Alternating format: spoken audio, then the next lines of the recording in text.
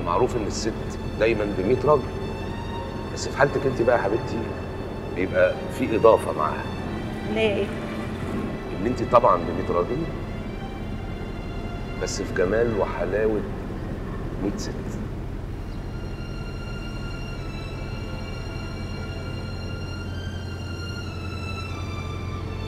بجد يا يوسف هتشيل المسؤولية معايا؟ مش هتسيبني اتعك فيها لوحدي زي اللي حصل مع ماما؟ ده أنا أشيل عفش البيت لو تحب. ده أنا مستعد أمشي على الحيطان. آه والله ده أنا مستعد أقف معاكي في المطبخ وأغير للولاد الهدوم ومستعد كمان أنشر الغسيل على الحبل لو تحب. لا يا حبيبي مش عايزاك تنشر الغسيل. بس هطلب منك حاجة واحدة بس عشان خاطري عشان خاطري ما ترميش حاجتك في كل حتة كده. حاول تلم هدومك وتحطها مكانها. أنت مش متخيل الموضوع ده بيعصبني قد وانت مش متخيلة الطلب اللي انت بتطلبيه مني ده صعب قد إيه؟ إزاي يعني أنا اقلع هدومي وارصها في الدولاب و... لا مش مش عارف. بس عشان خاطرك انت هحاول.